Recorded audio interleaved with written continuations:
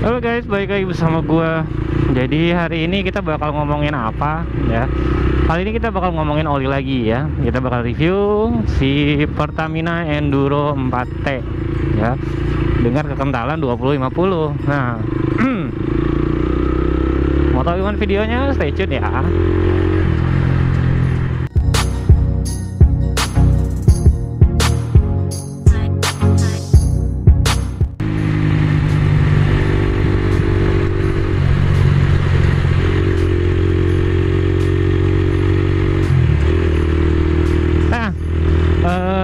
Seperti tadi gue bilang di depan, kita akan ngomongin tentang si Pertamina Enduro 4T ya.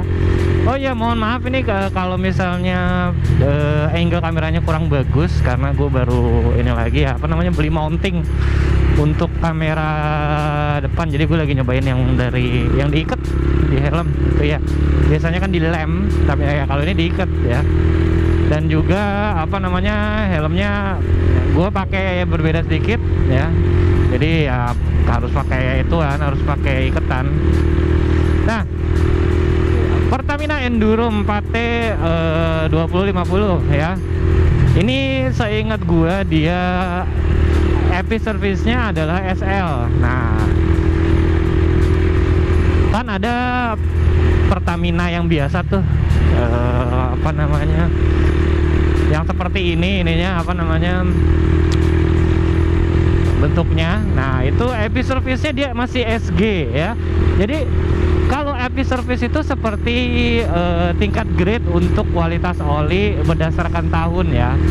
Yang paling terupdate adalah SN ya. Jadi dia ada update SA, SB sampai SN untuk eh, sekitar 2 atau tiga tahun yang lalu lah gitu ya.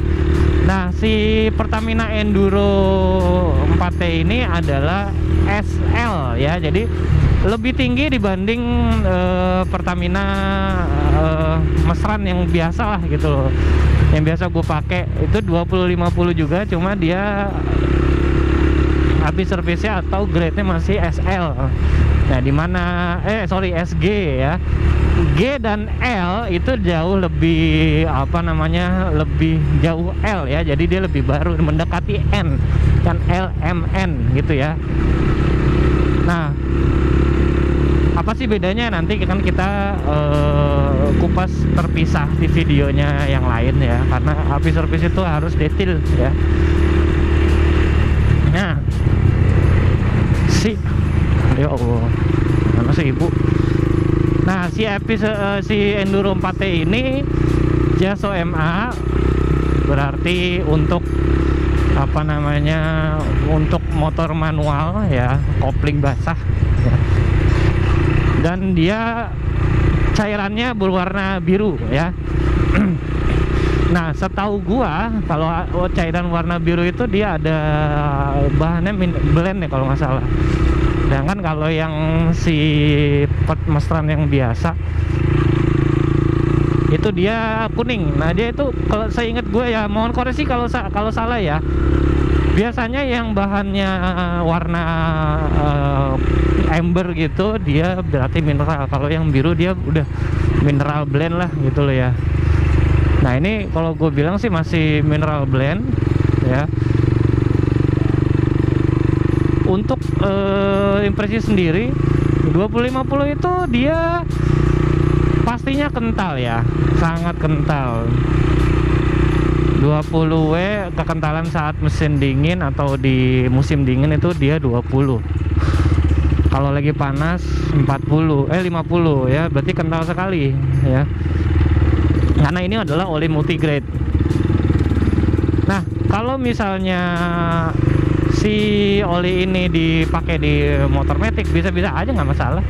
Karena dia bisa di sana juga. Videonya juga sudah gue jabarin di sini ya. Impresinya adalah pertama yang jelas mesin suara mesin sedikit lebih ya pasti lebih halus lah daripada pakai 1030 karena motor ini motor ini tuh umurnya udah hampir 20 tahun ya nanti 2023 itu dia 20 tahun dua dekade. Sekarang masih 19 tahun ya. Jadi lebih apa namanya lebih halus sedikit ya. Terus dia ada formula anti slip kopling juga untuk kopling basah organik ya karena dia butuh gesekan melalui oli ya. Jadi kalau misalnya aditif pelicinnya tidak bagus untuk uh, kopling organik pasti slip ya. Ya ini dia ada formula anti slipnya klaimnya seperti itu. Dan memang uh, setelah 1000 km dipakai ya masih oke-oke aja sih maksudnya. Tidak ada kondisi apa selip atau tenaga menurun ya karena ini motor kenapa pakainya 1000 kilo? Karena ya kemarin tempo hari itu sempat ada bocor-bocor ya. Jadi olinya habis mulu dan uh, sialnya adalah uh, si ring sehernya kelar ya. Jadi ini ngebul ya. Makan oli lah pasti. Ya makanya sekarang alhamdulillah udah diganti. Uh, kita bisa ini lagi. Nah ini udah kemarin udah gua ganti juga olinya setelah 1000 kilo. Dan ya, impresinya seperti itu ya. Keuntungannya adalah harganya sangat-sangat murah sih. Kalau gue bilang sekitar 40-an ribu. Murah cuy. 1 liter 40-an ribu. Ya kalau di toko-toko Pertamina swasta ya kalau gue biasanya belinya di Bright. Karena harganya lebih apa namanya lebih resmi lah gitu loh. Jadi dari tangan pertama distributor kalau Pertamina swasta biasanya di harganya di 50-an ya is oke okay lah nggak masalah.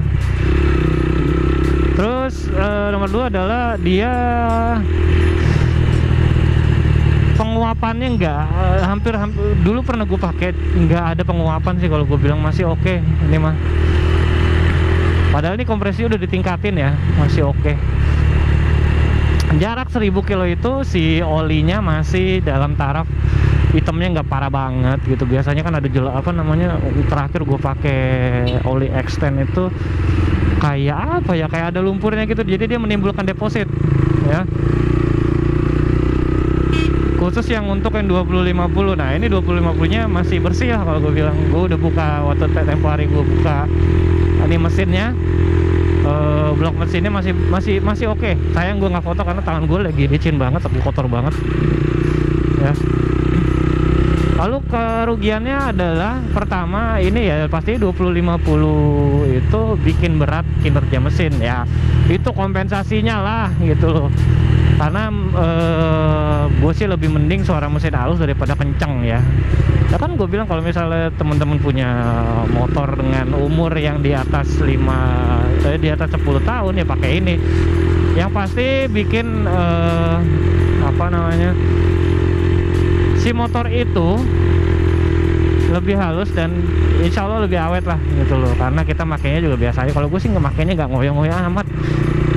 Motor udah 19 tahun kencangnya seberapa sih gitu loh? Mau saingan sama gesek gitu kan? Ya enggak juga ya. Jadi itu sih. Lalu apalagi kerugiannya uh, ini cukup jarang ditemukan di apa selain di Bright ya kalau di Bright banyak. Nah ada isinya juga 0,8 liter. Uh, saya sarankan sih pakai 1 liter dan juga jangan sampai kurang dari takaran ya. Tuh. Nah itu aja sih. Uh, kurang lebih. Harganya oke okay, kualitasnya oke. Okay, uh, standar api service yang cukup tinggi apakah worth it? worth it banget mas. Kalau misalnya uh, dipakai di motor yang udah tua lah gitu ya kayak motor ini. Tarikan ya itu dikompensasi oleh tarikan yang nggak begitu greng kayak oli 1030 dan sintetik. Ya oke. Okay. nah kurang lebih itu sih dari gua. Thank you for watching. Uh, ketemu lagi di review-review selanjutnya. Bim Cidi Thank you